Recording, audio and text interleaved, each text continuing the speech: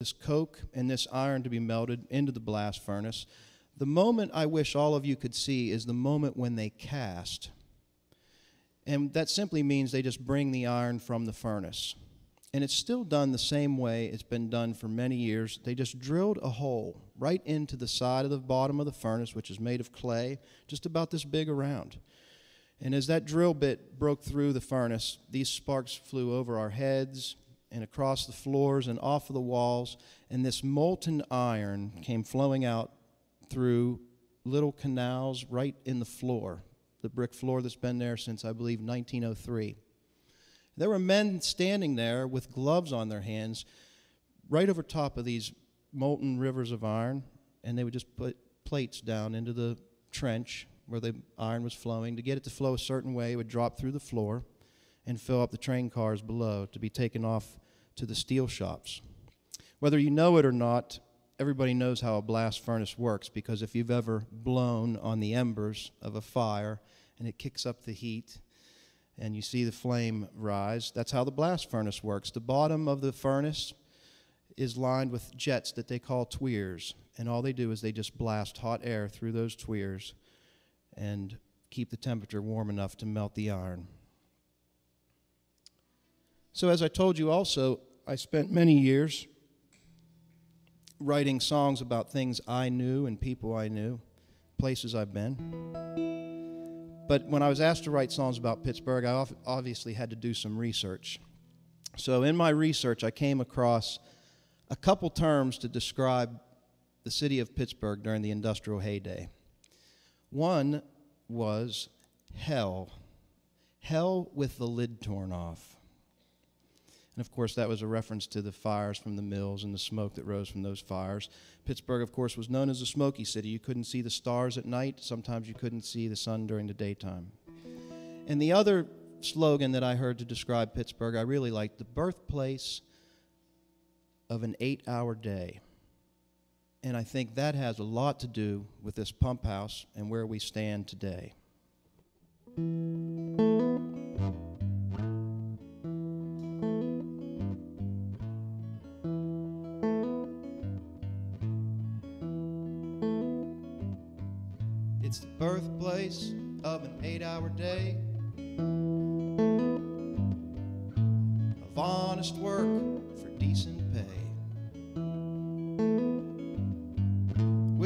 Winding rivers and its rich coal seam. Here we forged your American dream. We mined the coal that fired the mills that poured the steel, that formed the rails in the workshop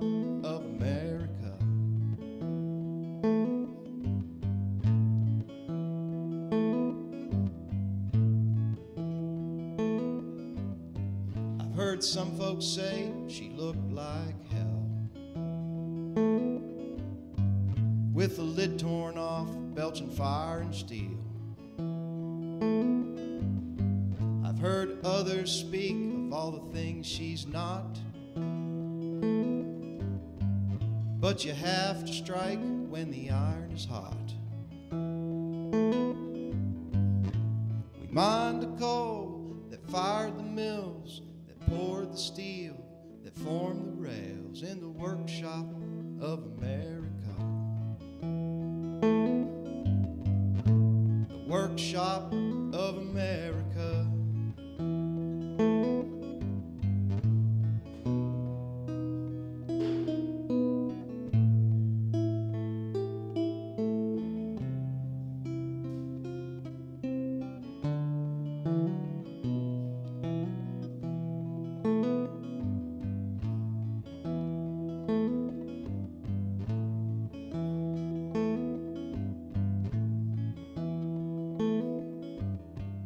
Wherever you may walk in this country today,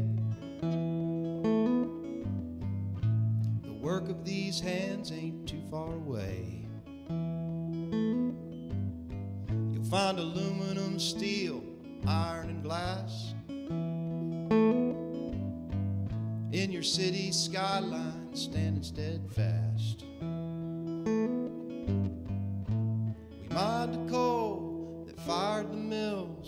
Poured the steel that formed the rails in the workshop of America. The workshop of America.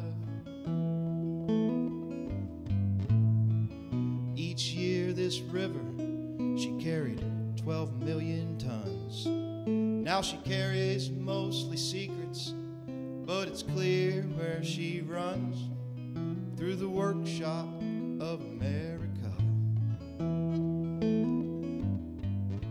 The birthplace of an eight hour day. The workshop of America.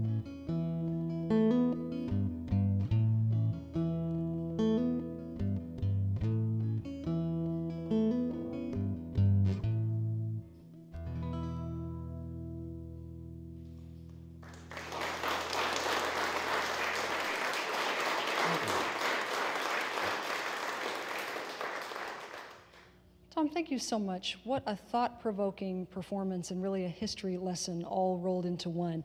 Um, we do have some audience questions. We want to begin with Augie Carlino, who is the president and CEO of Rivers of Steel National Heritage Area. Augie, I'd like you to tell us a little bit about this place in which we stand, tell us about the history of it, and then you get to ask the first question for Tom. Sure, thank you. Um, well, we're, we're in the uh, pump house, which is the site of the uh, infamous battle in 1892 between the um, locked out steelworkers of the Carnegie Works and um, the Pinkerton guards who were brought in here to take their jobs away.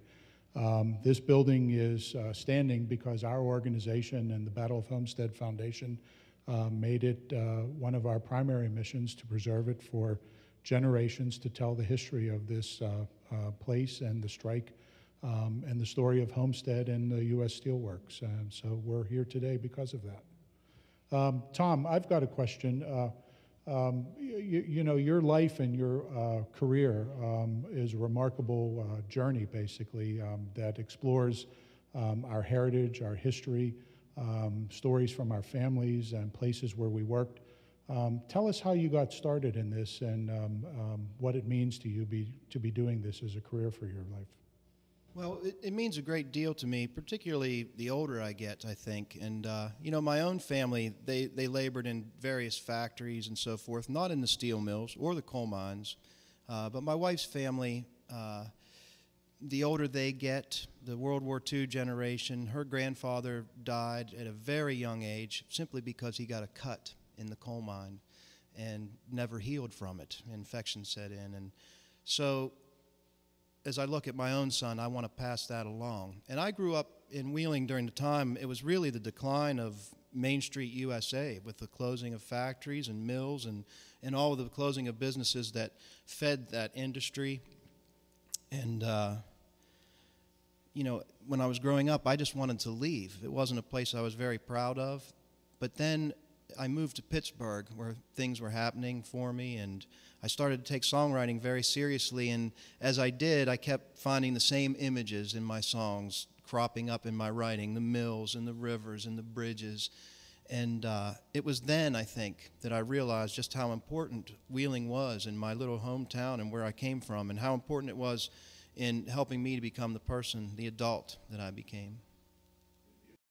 Um, a lot of what heritage areas do as a, as a program of their work um, tries to capture exactly what Tom's talking about and um, you know, get stories from people who've lived and worked in the mills and mines, who experienced their lives in these communities, and using that as a way to rebuild communities, um, not just for tourism, but for people who live in these communities. You know, I often say our greatest export at one time was steel.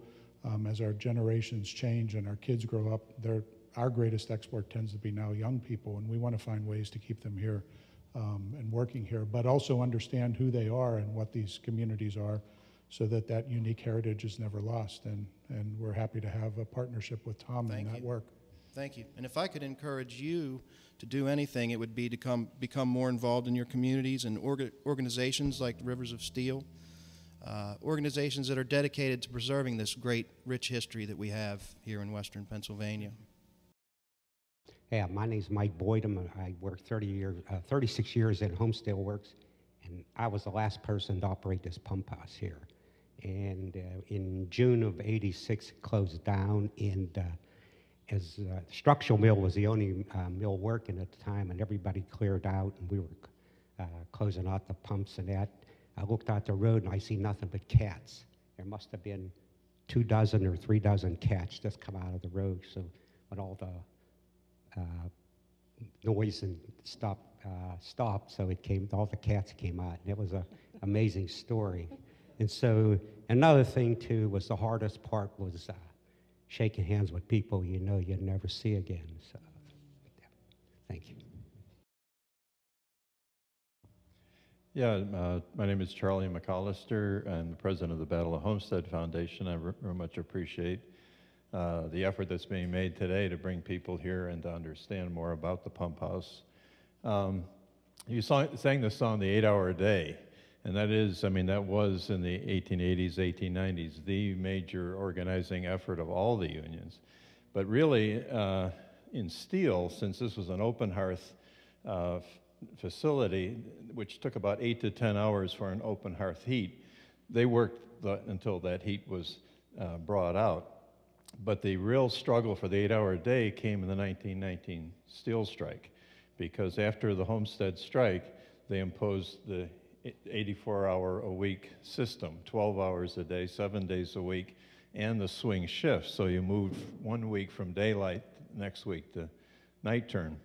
And it wasn't until after the great hunky strike of 1919 when the ethnic people rose up that, and by the uh, commitment of religious people, that got U.S. Steel to go to a three times eight hour shift so that you work 56 hours a week. That happened in 1924. So that, I mean, the origin of the eight hour day took a long time, and then it was uh, solidified in the 1930s when the steelworkers were organized and uh, got a contract. Thanks for explaining that. I appreciate it. Tom, I have a question. We've talked a lot about the importance of passing this history along. Why is it important for us to pass this history on, particularly to young people? Well, I think it's so important to have that sense of where you come from. It was something that dawned on me as I got older and how important my upbringing was and, and helped me become the person that I am. So I think it's important to instill in children and young people, some of them, you know, the connection to the Pittsburgh steel industry is just the name of the Steelers, the football team alone. And they really know, need to know that the people that came before us, and oftentimes their grandparents or their great grandparents. These are people that came from overseas and settled here and worked in terrible conditions, at dangerous jobs and dirty jobs, and built this country that we get to enjoy today. And it's, I think it's important for children to, to realize where they come from. Well, thank you, Tom, and many thanks to our audience for not only asking some great questions, but also sharing some wonderful stories that really bring home the importance of this history and many people who remember it well even now. So we're about to hear more from Tom Breiding uh, to tell us a little bit more about the struggle of the miners in West Virginia. So please join me again as we welcome back Tom Breiding.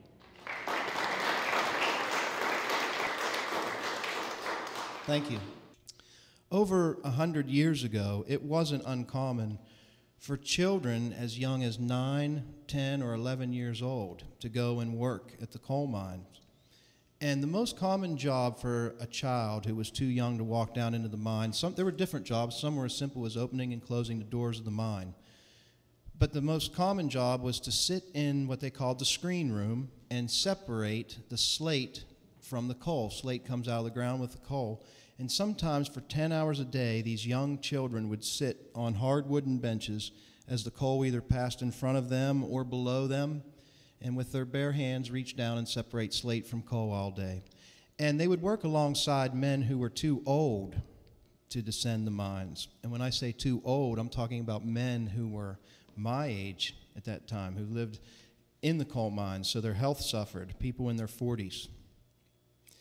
I read a great article by Stephen Crane. It was published in McClure's Magazine in 1894. It's called In the Depths of a Coal Mine. And in the article,